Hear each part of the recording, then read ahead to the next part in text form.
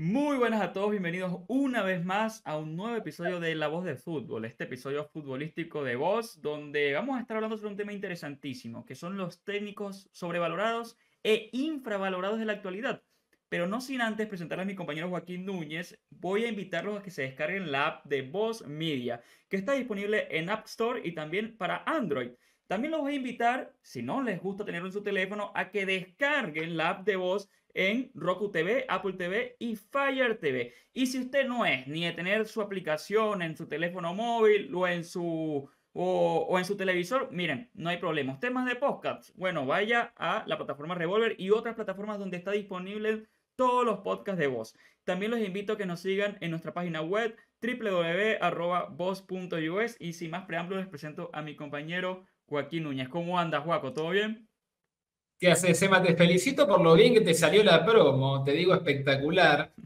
Y se darán cuenta que hoy tenemos dos personas en vez de tres. Bueno, Alejandro está, está prófugo de la justicia, creo que lo van a liberar la semana que viene, así que ya vamos a hacer tres de vuelta la próxima semana. Mira, eh, es cierto, me tocó hacer de Alejandro hoy. La verdad es que es la primera vez que hago la intro y creo que estuvimos bien, pero bueno. Eh, a lo nuestro, Juaco, a lo nuestro. Hoy vamos a hablar, yo creo que es un tema polémico porque vi tu lista, la comparé con la mía, de técnicos sobrevalorados e infravalorados, y mira que hay bastante para hablar, hay bastante material. Si quieres, eh, arrancamos con eso y, y arrancamos con tu lista y luego vamos con la mía, si te parece. Bien, arrancamos por entrenadores, sobrevalorados o infravalorados te dejo elegir. Mira, yo quiero ir con sobrevalorados primero y que la gente entienda. Que sea sobrevalorado no significa que sea mal técnico, simplemente que uno piensa que está quizás puesto en un peldaño por encima de lo que debería estar. Y lo contrario infravalorado, técnicos que son muy buenos y que no se le da el valor correcto. Creo que eso es para, para que la gente sepa bien y que tampoco nos digan en los comentarios que estamos diciendo que los que ponemos sobrevalorados sean unos torpes o unos malos técnicos. No, de ninguna manera no es una agresión, simplemente una, una categorización.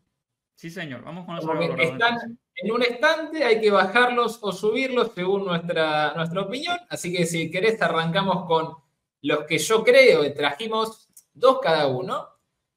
Para mí, un entrenador sobrevalorado de manual. Voy a arrancar con el señor Eric Ten Hag, el entrenador del Manchester United lo voy a. Yo los dos que traje en esta categoría los sufrí en carne propia, porque yo, raro para un argentino, me gusta mucho Cristiano Ronaldo. Y vi sus partidos a lo largo de su carrera desde que tengo conciencia. Y a este muchacho, a este técnico joven, por supuesto, lo sufrí mucho cuando fue Cristiano al Manchester United. Un entrenador joven, por supuesto, una barba extremadamente prolija, Famoso porque sale con su Ajax, este, ese, renacimiento que tuvo el equipo holandés en la temporada 18-19, que eliminó al Madrid, que lo mató, eliminó a Cristiano con la Juve en cuarto de final, y se queda fuera lamentablemente, porque hubiese sido lindo ver una final eh, con el Liverpool, con el Tottenham de Pochettino, Lucas Moura, el hat-trick hermoso.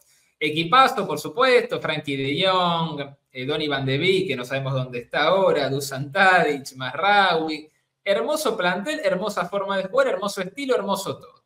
Ahora bien, pega el salto al United. Yo recuerdo que estaban todos los hinchas, che, mira qué entrenador que trajimos, qué fenómeno, se viene, una cosa como refundacional, va a jugar una cosa tan estética. Y la verdad que me parece una gestión hasta el momento olvidable le ha quedado muy grande el, United, que no tiene malos jugadores, porque la verdad es que ha, traído buena materia prima, trajo a su Anthony, trajo a Casemiro, le pegó una buena actualidad con Rashford en su momento, ahora ya lamentablemente no.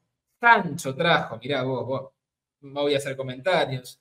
Me parece que tuvo una temporada espectacular, inmaculada, que fue la que dijimos con Ajax, y que desde entonces se ha demostrado que no tiene por lo menos la envergadura que parecía tener, porque con el United ni juega bien, ni consigue resultados y la gente está frustrada.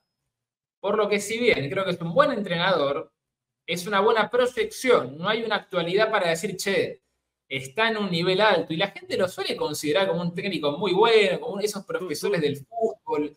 Yo no lo veo. Yo voy a, no coincidir contigo. Yo coincido en todo lo que estás diciendo, en absolutamente todo lo que estás diciendo, pero yo siento que a Ten Hag ya se lo critica bastante. Se lo critica bastante porque eh, sí, ganó dos títulos con el United. Él, él, de hecho sacó chapa con esos dos títulos. Él dice, bueno, dos títulos en dos años. Así dijo el hombre, porque claro, ganó una FA Cup al City, si no me equivoco. No, mentira, una Copa de la Liga al City y una Cup. Sí, pero títulos menores, el tipo chapa con eso y la verdad es que le ha ido mal. El equipo ha jugado muy mal.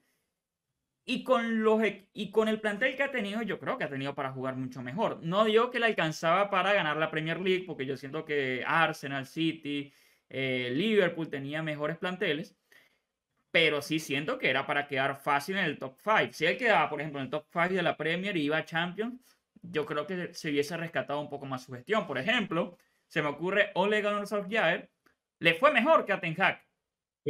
Compitió mejor y no sé si con peor plantel incluso. Entonces ahí te das cuenta que el paso de Ten Hag por United es bastante desastroso. Te voy a también a refutar algo. Yo siento que con el tema Cristiano Ronaldo, yo creo que hubo un poco de ambas partes allí. No, para mí hubo un, maltrato lamentable. Sí, yo creo que por un lado, Ten Hag no llevó bien la situación, porque si yo soy técnico de fútbol y tengo a Cristiano Ronaldo en mi equipo, Cristiano Ronaldo que ser de mi máxima figura, lo voy a tratar de perlas, lo voy a tratar de perlas, voy a hacerlo sentir mimado, voy a, intentar que el equipo de cierta forma eh, trabaje para él, para que él se sienta cómodo, esté cerca del área. Y sin embargo, Tenkak vino con eh, mano dura a querer imponerse. ¿No? Creo que ahí lo maneja mal. Ahora, Cristiano Ronaldo, siendo un tipo de 36, 37 años en ese momento, eh, que estaba ya dando quizás sus últimos pasos en el, fútbol internacional, en, Europa, él quería jugar la Champions. El United no iba a jugar Champions. Él sentía que estaba para jugar Champions. Y empieza a buscar clubes en Europa y ninguno lo acepta. Por un tema de edad, por un tema de salario alto, por un tema de que no encajaba en sus proyectos, lo que fuera. No, no acepta, entra a de pretemporada, tiene problemas eh, familiares, lastimosamente la muerte de su, de su hijo, ¿no? Eh, que, que también le afectó evidentemente.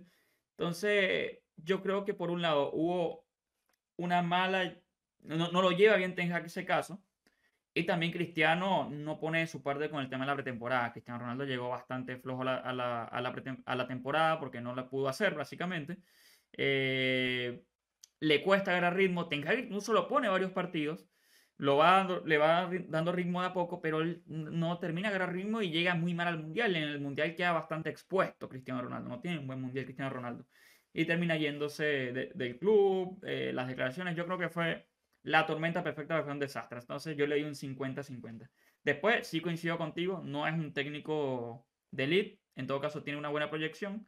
Su Ajax es de lo mejor que yo he visto. Pero ese United, a su vez, es de lo peor que he visto. Exacto. Aparte, es un entrenador que siempre suena para equipos muy importantes. Y yo no entiendo cómo hay como que nos llamen a nosotros, viejo. No es un tipo que no tiene pergamino. Hay una sola temporada que es extraordinaria. Pero después no pudo replicar ni un cuarto de eso en un equipo de lo más grande de Inglaterra, si no es el más grande, pega en el palo con el Liverpool. Que han traído jugadores que, ah, a ver, hubo bastante inversión. No es que no se le trajo nada, ni que puede patalear porque no tiene plantel materia prima tuvo e hizo de salsa, no compitió. No, mal. no compite. Yo creo que es un técnico para, para equipos donde no hay tanto, tanta exigencia. Va a ser jugar bien a equipos que no tienen esa exigencia. No, no, no creo que sea un mal entrenador, no creo que esté para dirigir a uno de los clubes más grandes del mundo como es el United. De acuerdo con eso. ¿Te parece el siguiente técnico? Pasamos al siguiente que yo veo sobrevalorado y es otro que también sufrí por el tema de Cristiano Ronaldo. Me acordé, mm. estaba buscando y dije, este también, mirá vos qué, ladrón, es el señor Massimiliano Allegri. Vamos a ponerlo en plano. Acá ladrón, bueno. Acá puede ser un poco más debatible, es un tipo que ha ganado muchísimo, eso es cierto. Campeón con el Milan, campeón con la Juve, finalista de Champions League eh, creo que llegó a un cuarto puesto hasta con el Cagliari. Eh, o sea, Pergamino tiene, más por supuesto. Ahora. Campeón de Champions. Exactamente. Yo lo voy a tratar de un, un usurero futbolístico. La verdad que yo habiendo visto su Juventus con Cristiano, con el bicho, con todo, es, es espantoso, pero explico por qué. El, el, estilo yo voy a criticar de este muchacho. Resultados ha tenido. Ahora bien, vamos a lo que hizo con la lluvia. En la lluvia agarra el viento de cola de Antonio Conte, que era todo victoria, todo escudo, todo título, y sin cambiar tanto, aunque un estilo muy defensivo y amarrete, consigue, por supuesto, ganar ligas consecutivas, pero con un Inter que no era ni, ni la mitad de lo que sé, este, el Milan sí, venido Inter muy bien. Agarró la, la, hegemonía juventina y se subió a ese carro, digamos, ¿no? Siento que le alcanzaba con muy poco, y con ese poco fue un poco más que la media y sale campeón de, de la liga italiana. En la temporada de la Champions League, la, esa famosa el subcampeonato que pierde con el Madrid y elimina al Barcelona. Tiene dos, tiene dos subcampeonatos. Tiene dos. Tiene Barcelona y tiene Real Madrid, eso es cierto. Sí, señor. Yo creo que responde muchísimo más a individualidades del momento que a un equipo trabajado por el entrenador. Es decir, mm. en el 2000, en la 14-15, tuvo a Carlos Tevez, que de pronto era Denis Bergkamp, abrazo al, al Apache. Es del mundo, era Tevez en ese momento, ¿no? Animal total. Re responde a una excelente defensa que, bien, no tenés que ser un fenómeno para armar esa defensa, si defendían solo Chiellini, Bonucci y Barzagli. No, mover eso sería ya de, de una irracionalidad absoluta. Pirlo ya jubilándose, pero en un grandísimo nivel, y la incipiencia de Morata que le hacía, lo hacía correr menos a Tevez arriba. Mm. Con eso, y sin enfrentar a rivales de peso, porque el Madrid que elimina en 2014-15 no era un equipo, no era ninguna planadora tampoco, lamentablemente. Fue el segundo de Ancelotti que no ganó ningún título, lamentablemente, muy a mi pesar. Que jugaba muy bien ese equipo, ese equipo jugaba muy bien al fútbol. Jugaba bien, muy, tuvo un James Rodríguez de lo mejor que hemos visto en una mitad de la cancha. Es en más, una este primera equipo temporada. para mí es de los mejores que he visto, lastimosamente no ganó nada, pero es de los mejores que he visto a nivel de, de juego. Jugaba muy bien, No. pero no la alcanzó. Se, se, se, se pinchó y le tocó un tridente histórico esa temporada. se desarmó lamentablemente y quedó justo con el Barça saliendo tricampeón de, con el sextete. Pero Sí. Allegri me parece un técnico que no, no se le ve la marca personal en ningún equipo. Yo no la vi a que juega los Allegri más que a que alguien se ilumine.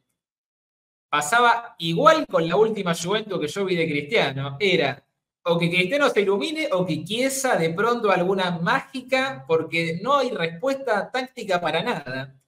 No hay pizarrón, no hay plan B. Tipo tiene pinta de ser simpático, pero me parece que ha ganado demasiado aprovechándose de la falta de competitividad en su liga. Mira, Entonces, este es un buen caso. Sale con mucha seriedad, pero lo vio flojo de papeles. Mira, este es un buen caso porque es un tipo ganador. Yo voy a, a ser policía bueno, policía malo, para a- a- abri- abrir el debate. Me molesta mucho que no hayas mencionado a Dybala dentro de las individualidades, muchísimo, pero bueno, te la voy a dejar pasar. Eh, Oh, temporadón. Sí, sí. Claro, ¿no? y emblema de la Juventus, es fácilmente top 3 mejores jugadores de la Juventus de los últimos 10 años. Eh, pero bueno, aunado a ello, la Juventus 2015 juega muy bien al fútbol. Eh, Pogba en un gran nivel, Vidal en un gran nivel, Marquisio, Pirlo, eh, Tevez, Morata, un Morata que pintaba para grandes cosas y terminó desinflándose. Mm, es un equipo que, que elimina al Madrid, es verdad, que quizás pudo haber que ser eliminado ciertamente, pero que compite muy bien y aparte le hace una muy buena final al Barcelona. De hecho, en algún momento de ese partido, a pesar de que el Barcelona es ampliamente superior si uno repasa los 90 minutos, hay 20 minutos donde el Barcelona tiembla con el gol de Morata y alguna que otra llegada y dominio de la Juventus en ese segundo tiempo. Porque el gol de Suárez es medio una individualidad de Messi que termina siendo el 2-1 y ahí como que el Barcelona vuelve a encaminar la final. Dicho eso, creo que ese Allegri de que agarra ¿no? la hegemonía de la Juventus, gana muchos títulos y demás, es bueno, pero no quita que el segundo Allegri de la Juventus sea completamente terrorista.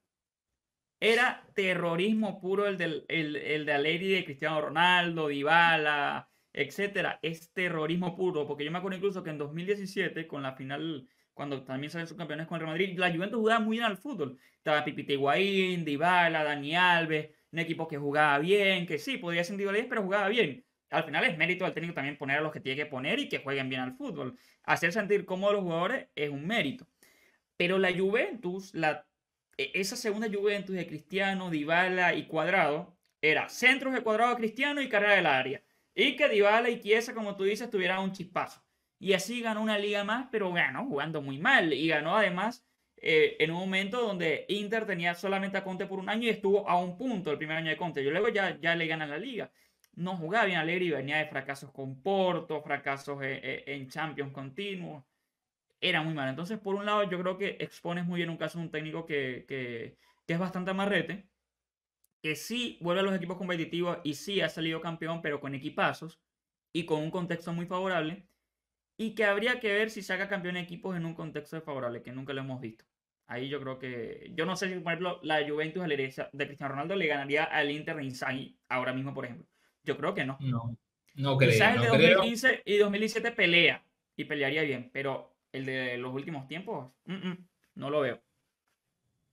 Comparto. Pasamos si querés, a los que yo confirmo que están infravalorados en esta, en esta humilde transmisión. Me permito arrancar, ya que estamos hablando de Italia, por Mauricio Starri, que voy a arrancar haciendo un pedido a las grandes plataformas. Necesitamos la serie de la vida de Mauricio Sarri. De cinematográfica, la de la vida de este hombre. Para los que no saben, era empleado bancario atendía a los clientes. de, cara de, todo, menos entrenador de fútbol, ¿no? De saco, de cigar mucho cigarrillo, mucho humo en la oficina. Y a la noche era entrenador de un equipo de sexta división de Italia. Pasó por todas las o sea, sin haber sido futbolista previamente, es un mérito absoluto. Pasó por todas las categorías de fútbol italiano, quinta, cuarta, tercera, segunda, de a poquito escalando, meritocracia, cortafierro y martillo, muy humilde la historia, y consigue ascender con el humilde también Empoli. Ahí lo mira el Napoli, engancha Napoli, Juventus, Chelsea. Me parece que tiene muy poca prensa para la historia que tuvo de haber ascendido de sexta a primera, sin nombre, sin, sin espalda, haber sido futbolista, sin nada. Y especialista en sacarle agua a las llega un Napoli que venía tan de capa, no, hay equipo más de capa caída que el Napoli que agarra Sarri, que era el de Rafa Benítez, que ya con el estilo de Rafa, ¿no? em, más doloroso a la vista, logra tácticamente un equipo muy vistoso, con un Jorginho que lo construye él, quien sabía que era Jorginho antes de que lo agarre Sarri, y engancha dos subcampeonatos y un tercer puesto, un segundo puesto con 91 puntos. Que una locura. En cualquier otro año hubiese salido campeón. Campañón con un Napoli que tampoco tenía tanto. Higuaín en, en su momento, no sé qué le pasó, pero la varita mágica. Mertens, como digo, Jorginho. Sí, no es que con un equipazo de todas figuras. Para nada. De ahí lo mira el Chelsea. Y con un Chelsea que para mí tampoco era una animalada. Sí, con un Hazard un animal, con un Giroud que para mí es un futbolista infravalorado también Giroud. Logra una, una, hermosa Europa League contra el Arsenal, o sea, sabía una final que había que ganar, la ganó también. Fue a la Lazio, Lazio de vuelta, el plantel de la Lazio es casi nulo. Y, y los que no conocen seriedad, el dueño de la Lazio, Lotito, es, como dicen en Argentina, en Argentina, un rata. El tipo no gasta. Ah, miserable. No plata nunca. No le podés sacar un peso. Quinto puesto y segundo puesto con Lazio. Volviendo al plano internacional con un equipo que hace mucho no juega copas internacionales. Para mí lo de Sarri es cinematográfico, es espectacular, tiene muy poca prensa y dicen que él tiene el sueño de dirigir a Boca acá en Argentina. Epa. La verdad. Eh, pegan, pegan, o sea. Sí, el perfil es. Eh, de boca por todos lados. Para mí se lo reconoce poco y espero la serie o la película del señor Sarri. Curiosamente coincidimos en todo. Yo creo que mucho Premier Boy, no lo digo de forma despectiva, sino porque hay gente que en verdad valora mucho más la Premier sobre otras ligas. Ven a Sarri como un técnico al contrario, sobrevalorado porque en Chelsea no le fue tan bien, más allá de la Europa League. Eh, duró creo que un año o dos años, algo así. Salió, creo que salió tercero en Premier.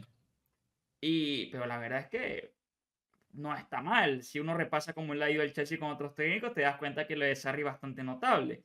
Eh, luego, Napoli la rompió toda. Eh, no sé si llegó a ganar títulos con Napoli, creo que no, siempre se quedó a las puertas.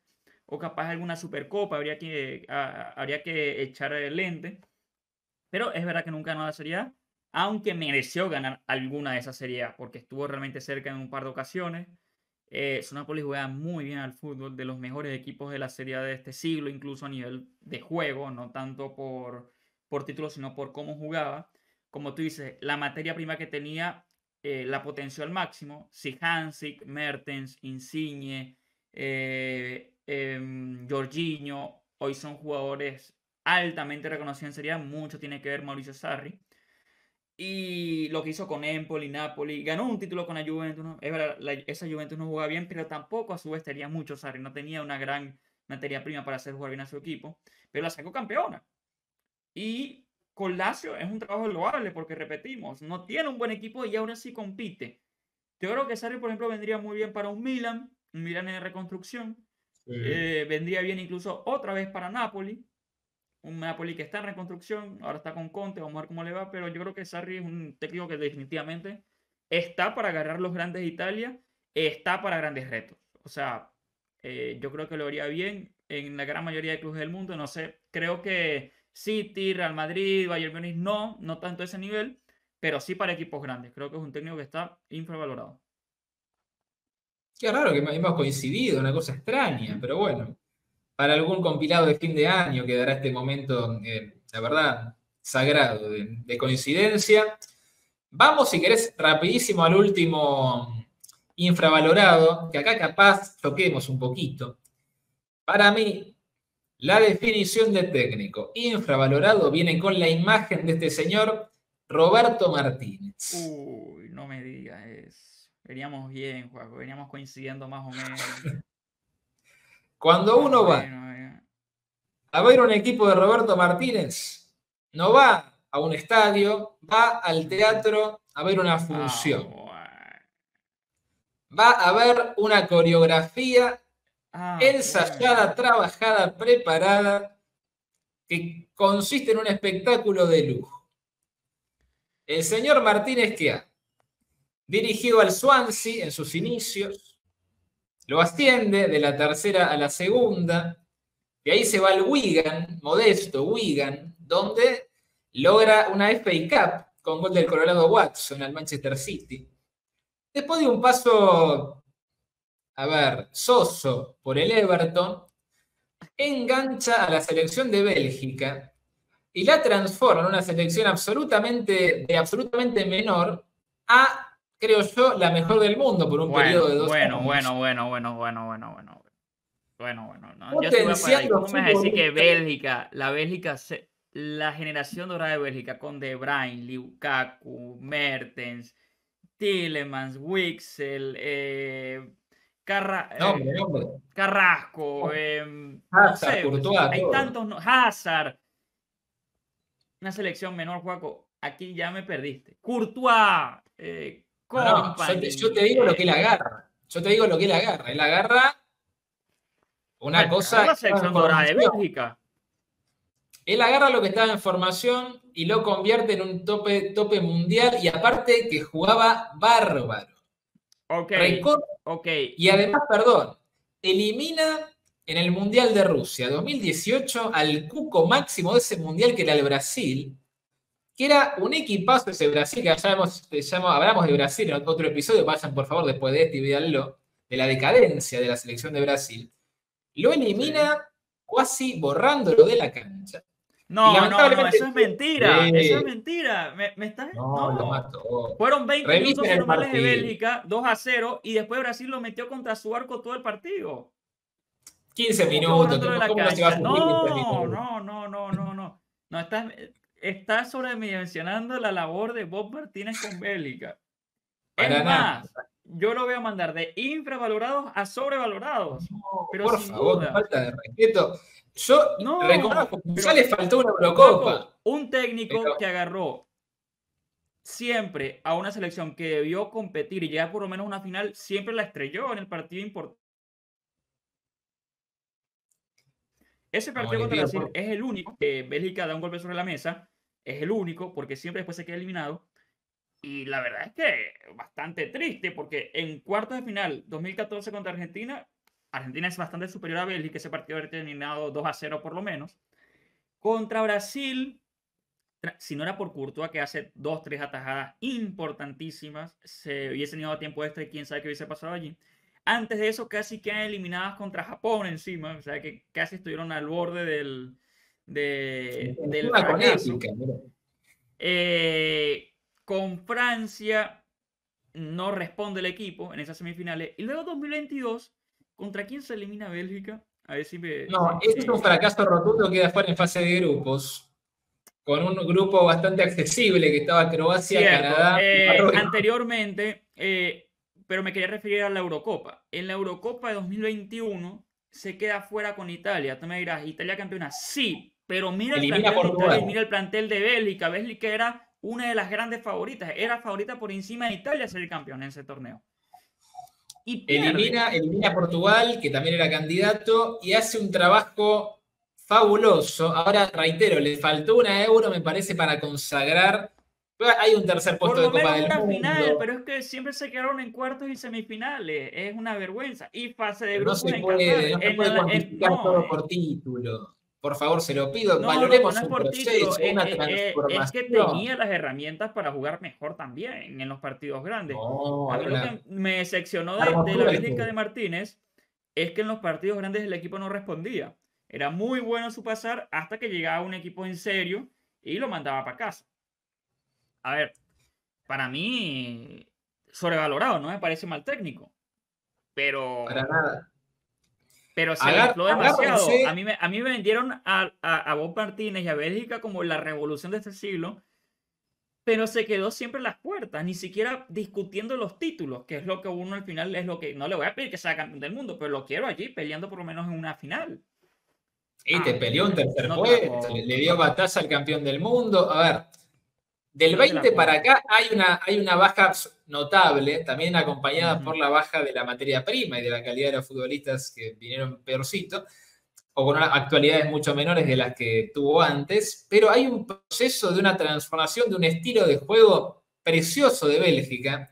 Faltó la Euro, creo que faltó, y ojo con el Portugal que agarró, que agarró a el amarretismo futbolístico de Fernando Santos y lo está convirtiendo, por fin aprovechando la calidad de jugadores que tiene, en un, me parece un equipazo este Portugal, y atente con el Mundial del 26. Lo perfilo como semifinalista. la Eurocopa que jugó Portugal fue un desastre. No, no fue un desastre. Usted es muy injusto, demasiado injusto diría yo. Usted la injusticia no, personificada. Portugal jugó horrible Por favor, Bueno, compárelo con. La gente, compare la, la, gente, la gente, puede, la gente va a dejar en los comentarios qué les parece Bob Martínez.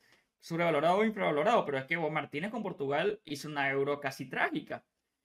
No, casi trágica. es muy tajante usted con las definiciones. Espérelo a Bob Martínez con Portugal.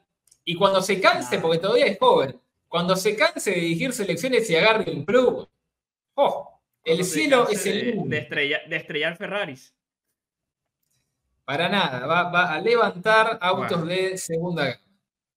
Bueno, autos de segunda gama, la mejor selección de la historia de Bélgica y una selección dorada, de, una generación dorada de Portugal también prácticamente, porque Portugal lo que le sobra es materia prima. Bueno, primera, coincidimos más o menos en los primeros tres, con algunos matices quizás. En el último no te la compro. Vamos a, vamos a decir que 3 a 1 o 2 y medio, 1 y medio, porque hubo matices en algunas, ¿no? Bien. ¿Qué le parece si vamos con los míos, no? Parece muy bien. ¿Quieres que arranque con sobrevalorados e infravalorados? Ahí la producción se va a guiar por los nombres para, las fotos. ¿Qué, le parece a usted? ¿Qué, quiere? Y arranquemos, respetemos el orden de sobre a infra.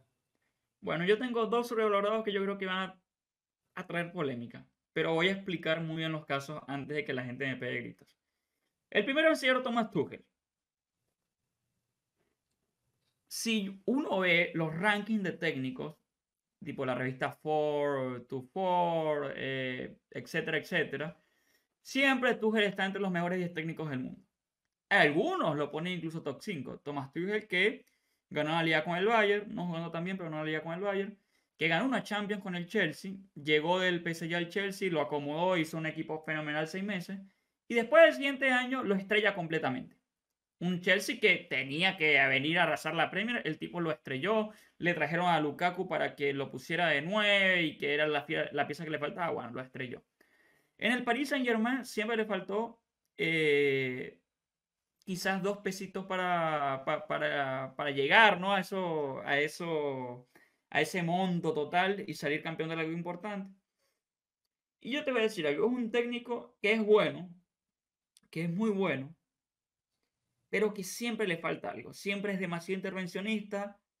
En algunos momentos no. Es un técnico que le da la rienda suelta a sus jugadores. Es un técnico que yo no veo potenciando individualidades, más allá de algún jugador puntual a lo largo de su carrera. Es un técnico muy caro, muy costoso, y que si uno se pone a analizar sus palmares, todos los títulos que ganó fue con viento favorable. Bundesliga con el Bayern es viento favorable. League One con el PSG es viento favorable.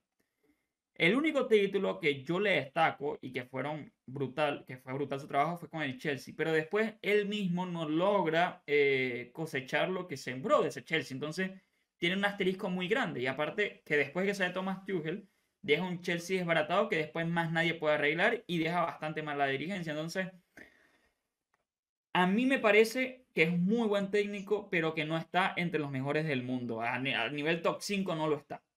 Y a veces siento que dentro del top 10 hay técnicos mucho mejores que no están tan valorados como el señor Thomas Tuchel. Por eso yo lo pongo sobrevalorado. Repito, muy buen técnico. No me parece que esté entre los mejores del mundo. Voy a compartir lo de Caro. Es un técnico costoso, por supuesto.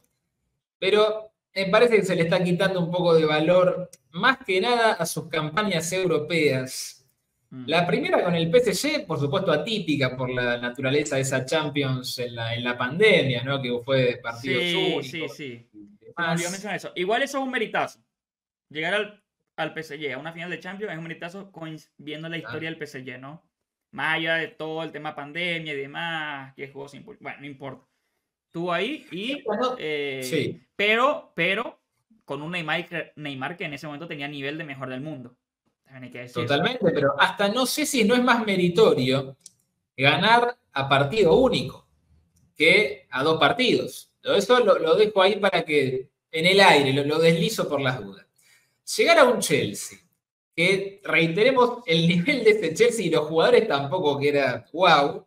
Mendy en una gran temporada, Jorginho más o menos, la Cobra Haber, no es que tenía una cosa descollante, y le gana la final a la topadora de Guardiola, de la que tanto se habla, con una, una genialidad táctica, se podría decir. No sé, ni él debe saber cómo hizo, pero logró ganar esa final al City.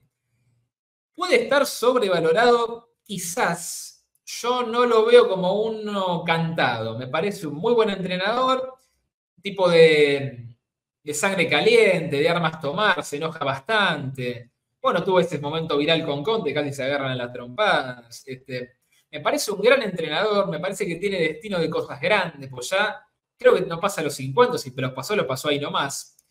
Una Champions, una final de Champions, títulos locales, sí, con viento de cola como Bayern o PSG, en ligas sencillonas para estar en esos planteles, pero también tuvo un paso por el Dortmund buenísimo.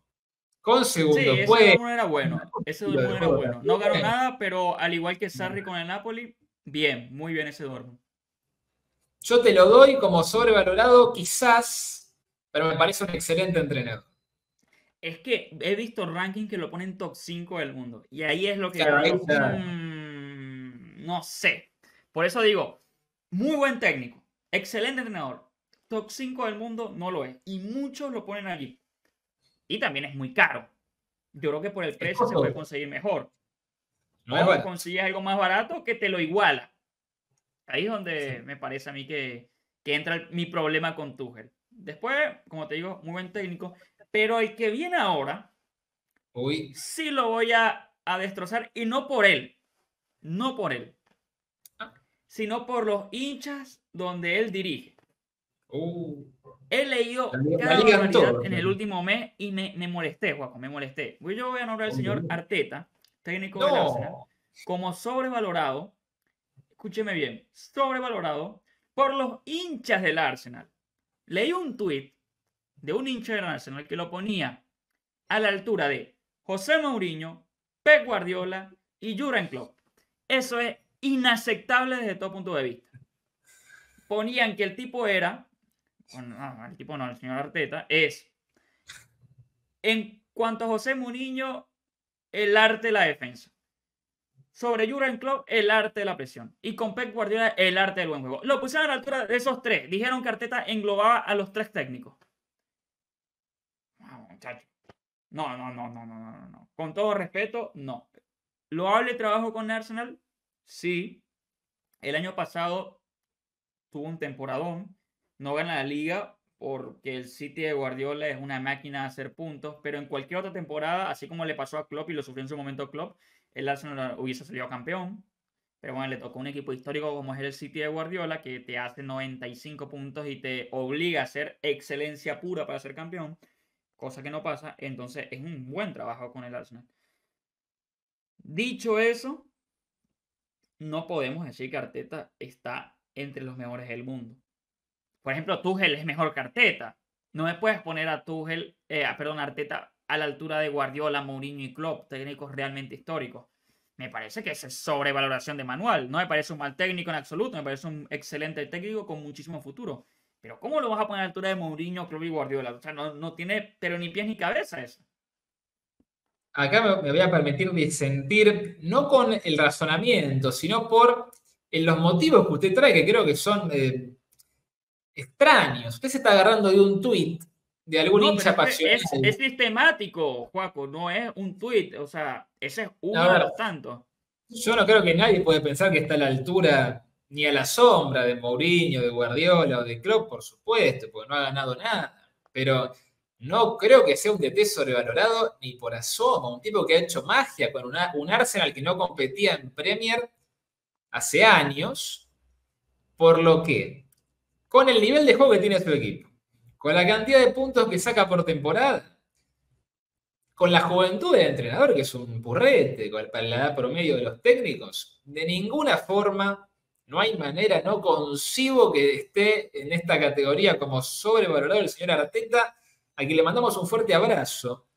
No me parece, no coincido, usted está tomando un punto de las redes sociales no, no, para poner aquí la opinión pública general. La del entrenador en este, en este top. De la opinión pública en general, porque ¿sabes qué pasa, Juaco? Le costó horrores llegar a donde estaba. Sí. Le dieron muchísimo tiempo muchísimo tiempo. Coincido en que ha hecho un buen trabajo con el Nacional, pero hasta allí. No más de allí. Y en los partidos clave ha flaqueado. Ha flaqueado contra el City, ha flaqueado contra el Bayern Múnich en cuarto final de Champions. Un Bayern Múnich bastante mediocre, dicho sea de paso. Al que le podías ganar, porque a mí me vendían el Arsenal que era el segundo, tercer mejor equipo del mundo. Así me lo vendía la prensa de, de, de, de Inglaterra. Y va y flaquea contra el peor Bayern de los últimos, ¿cuántos? ¿10 años?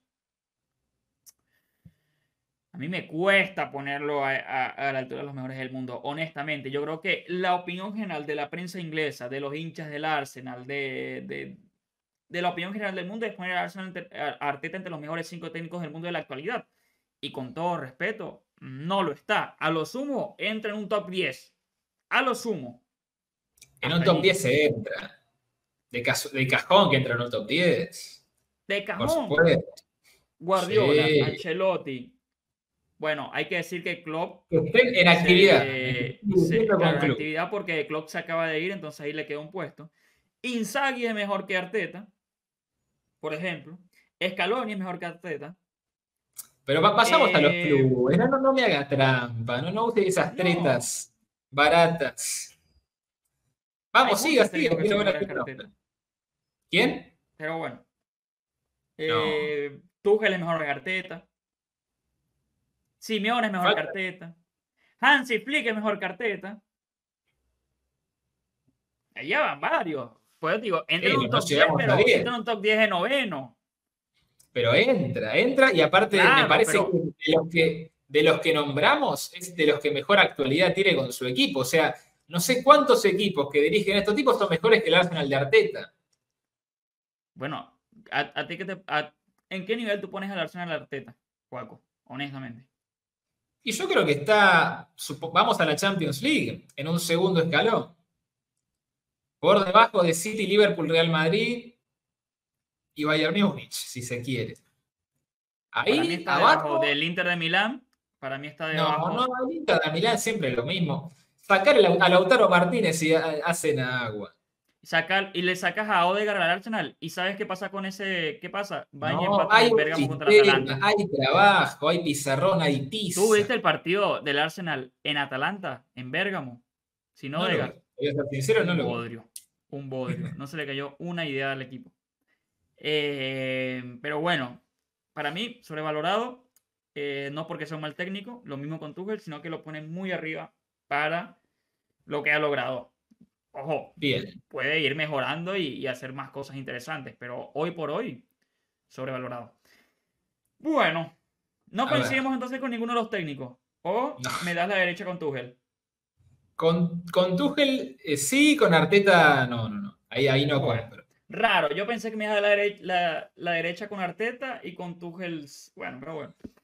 Salió al revés. Una. Vamos a ver, los infravalorados. Voy a arrancar con uno que no te va a gustarme por lo visto. A ver. Inter de Milán, Simón Inzaghi. Oh. No tengo ni que explicarlo. Ay, Dios no tengo ni que explicarlo. Lo mismo que Mauricio Sarri con Lazio. Segundo lugar, competitivo en Champions.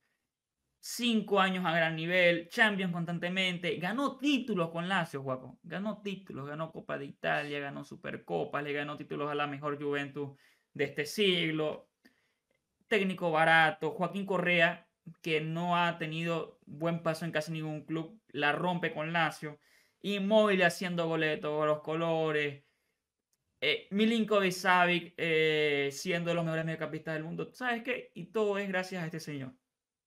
Este señor que la rompió con Lazio y el Inter de Milán lo llama llorando porque se va a Conte, un Conte que le exigió jugadores cuando el Inter está en, en bancarrota, le dice, Simón Inzaghi le damos este puesto. Y Simón Inzaghi dice, ¿y qué me van a dar jugadores? No tenemos nada, no tenemos presupuesto. Se va ir Lukaku, vamos a traerte a Seoko con 35 años. Se va Eriksen porque le dio un paro cardíaco, te vamos a traer libre a Chananoglu, que ni siquiera juega en ese lugar. Se va Perisic, no tenemos, no, no sé. Le, dijeron, 20, no tenemos plata. Y Inzaghi pidió solamente a Servi, les pidió a Correa, dijo, aquí me hago cargo de este equipo. Y ¿sabes qué? Es de los mejores equipos de Europa cobrando poquísimo, potenciando individualidades a niveles nunca vistos.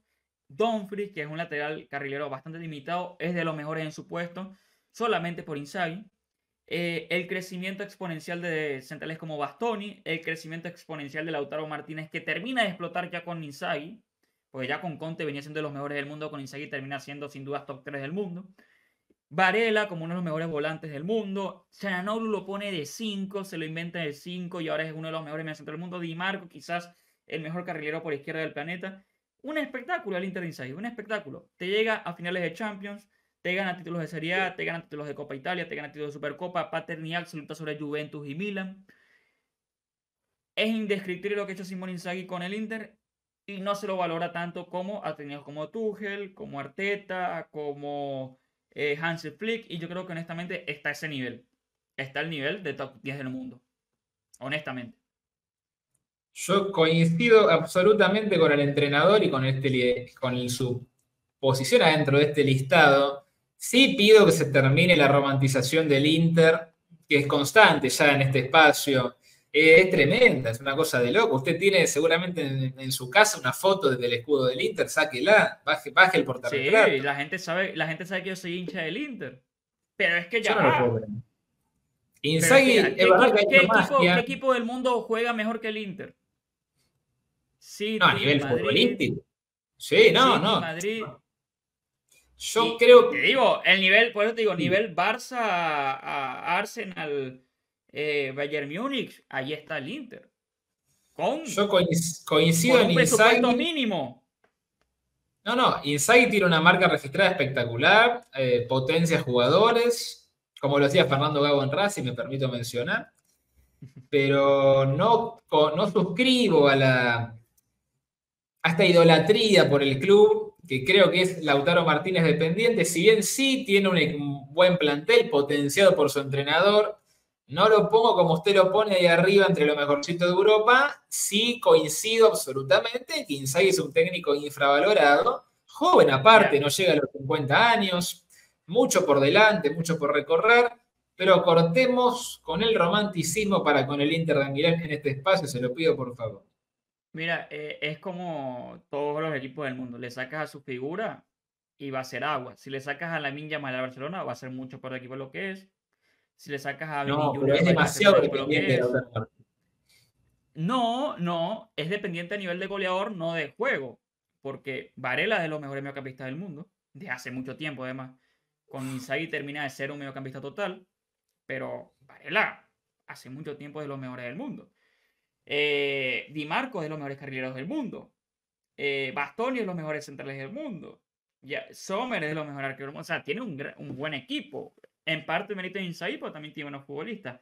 Es verdad que adelante, si seleccionan Turán y Lautaro, tiene suplentes no tan buenos, o mejor dicho, rendidores que no van a darte los números de Lautaro, pero es como todo, o sea, tú le sacas a las figuras a sus equipos y obviamente no van a rendir lo mismo.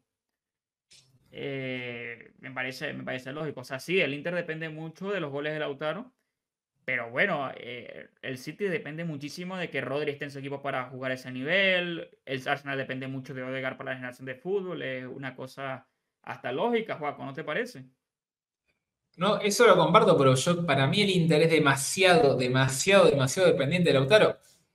No veo que haya, por así decir, que si vos reemplazás a Lautaro, no, sácale, el sistema está, Inzaghi lo tiene, lo tuvo el Lazio, lo tiene el Inter y todo, pero me parece que Lautaro Martínez es demasiado indispensable, demasiado al tal punto de que ya es arreglate Lautaro. Se la tiramos arriba y que se arregle.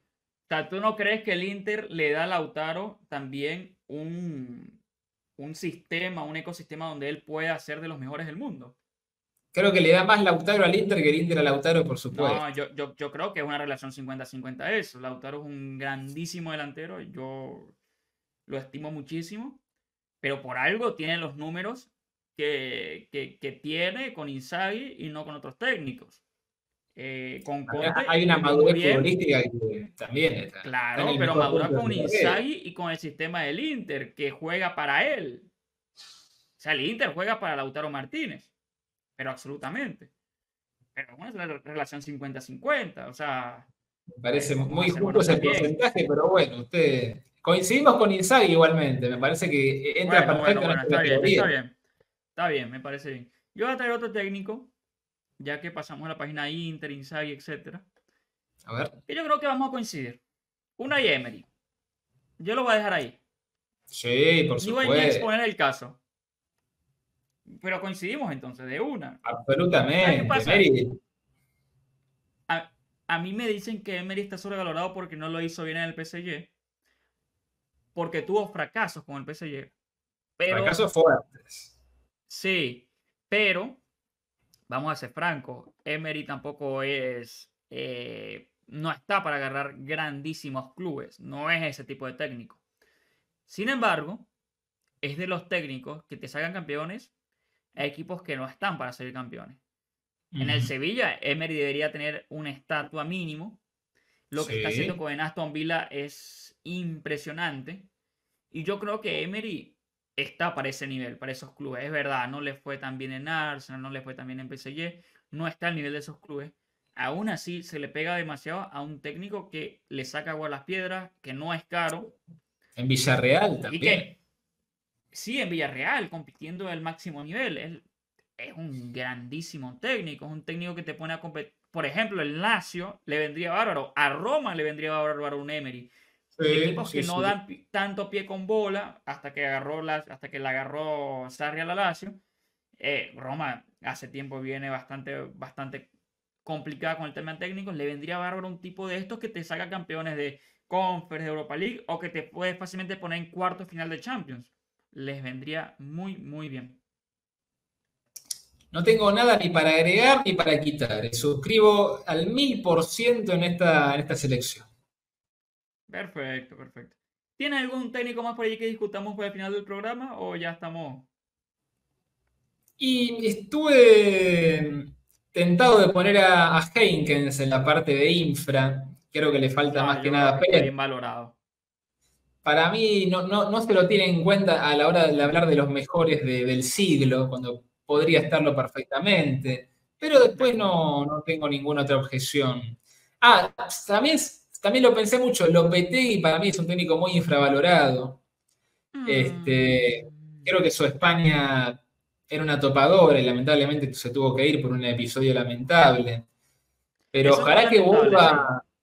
Ojalá que vuelva al Real Madrid pueda tener su, segundo pasito. Me parece un excelente eh, a mí Lopetegui me parece muy como Emery.